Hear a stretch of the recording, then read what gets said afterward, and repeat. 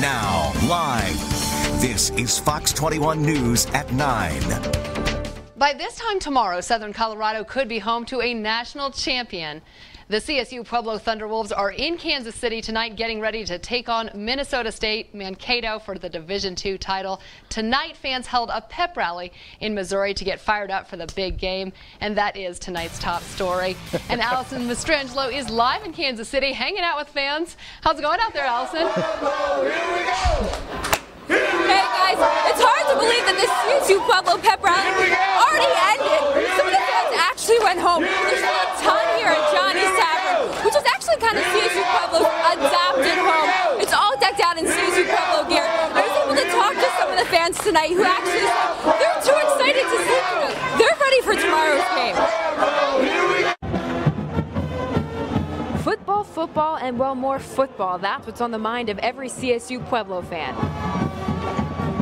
Thunderwolf fans say the drive from Colorado was worth it to be here to witness history in the making. It was a quick road trip.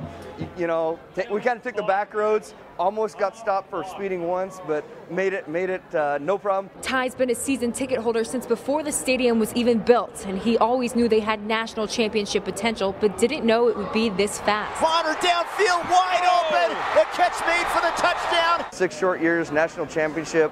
It's absolutely amazing what, what the coaching staff and the community has done to rally around this football team when there wasn't even a stadium seven years ago. And Rochelle Wristen says her husband is ready for the game tomorrow, and she's so proud of how far this team has come. And to make it to the national championship, you know, when you look back where we were seven seasons ago, where we, we didn't have a coaching staff, we didn't have a team, we didn't have a stadium, and here we are at the national championships in Kansas City. It, it's surreal. It's unbelievable. Rochelle says Coach Wristen isn't very superstitious, but does have a game day routine. A lucky piece of apparel that he does wear at all of his games.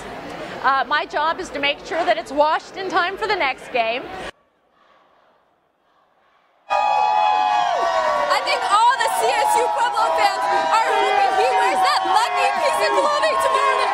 It's such what, a, what an amazing amount of energy we have going into this game for tomorrow. And the CSU Pueblo fans say, no matter when or lose, they are so proud of how far their CSU Pueblo team has come. CSU!